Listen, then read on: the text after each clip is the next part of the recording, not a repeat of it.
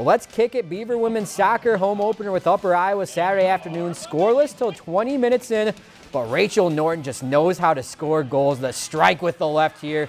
1-0 BSU. Then a few minutes later, corner for Raquel Thielen, and she finds the head of fellow senior Miranda Famstead, who is deadly from that area. Beavers ahead by a pair. Then they put an exclamation on the second half, and it's Norton again. Just find her, and she'll do the rest.